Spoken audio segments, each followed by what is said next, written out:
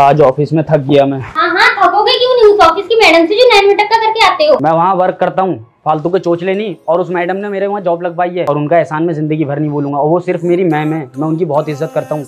आगे से उनके बारे में कोई बात ना सुन लूँ। हाँ हाँ आप उनके बारे में एक बात नहीं सुनोगे मेरे बारे में सौ बातें सुन लेते मुझे तो लगता है आप मुझसे प्यार ही नहीं करते तो मैं मर जाऊँगी ना तो आपको मेरी कदर होगी।